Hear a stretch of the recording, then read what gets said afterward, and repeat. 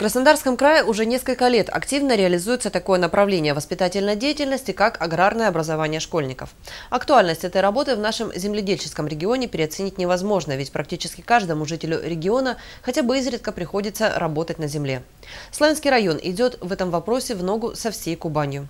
Интерес, проявляемый учащимися и их педагогами. Опытные участки, созданные во всех школах района. Научная база станции юных натуралистов уже приносят плоды. В краевом смотре конкурсе прошли прошедшем в конце октября в Краснодаре наша команда учащихся 6 и 14 школ первого лицея и станции юных натуралистов получила первое общекомандное место. Своими впечатлениями ребята поделились с нашей съемочной группой. Чтобы вырастить домашние овощи и зелень в любой сезон года, не обязательно иметь большой участок. Это утверждение на практике доказала учащаяся Славянского района Маргарита Неделька. Ее станция для выращивания овощей на подоконнике – работа на стыке многих наук – от экологии до электроники. Для успеха в этом микроогороде от человека требуется только посадить семечко, включить установку в сеть и иметь доступ к интернету. А умная станция сама будет растить урожай. Сейчас у людей очень много других забот. Им нужна работа, им нужно получать деньги. А времени на выращивание растений, на теплице не остается. Поэтому э, такая теплица, которая, э, которой не нужен человеческий фактор вообще, я думаю, она будет очень востребована. Эту установку Маргарита продемонстрировала на краевом смотре-конкурсе достижений опытных участков под названием «Щедра Кубанская земля». В нем команда славянцев завоевала первое место среди 25 муниципальных образований края.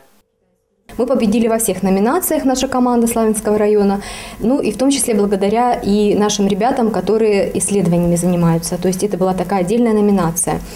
А вот. Э, здесь были представлены проекты и по эм, животноводству и э, растениеводству, ну и в том числе вот эта работа, конечно, э, «Неделька Маргариты», она произвела фурор, поскольку действительно на стыке наука это что-то современное, это, может быть, не, не столько новая, но сколько рационализаторская идея, которую э, ну, ребенок со, со своим руководителем могли как бы развить и представить вот на суд жюри. Земледелие будущего невозможно без базовых знаний о растениях и агрономии. В изучении этой науки на практике школам помогают созданные совсем недавно опытные участки и теплицы. Плоды этого труда ребята из 6 и 14 школ района также продемонстрировали в смотре-конкурсе. Многие школы представляли разные красивые корзины, э, красивые цветы и много чего красивого ставили. Мы тоже также ставили очень много всего красивого, но у нас было больше овощей, у нас на столе были представлены уже продукты, выращенные в нашем земельном участке, такие как яблоки, кабачки. Также были представлены работы 11 классов, там были э, уже пекарные изделия, были пироги, пирожки.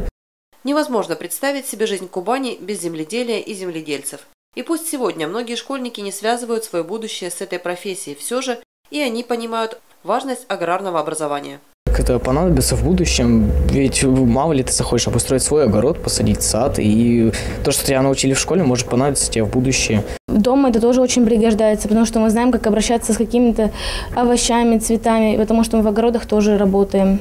Понимание важности этого обучения самими учениками, грамотный подход педагогов и умение заинтересовать детей темой земледелия позволяют говорить, что в Славянском районе растят агрономов будущего, способных в любых условиях накормить, если не всю страну, то свою семью точно. Мария Климова, Георгий Калинин, программа «События».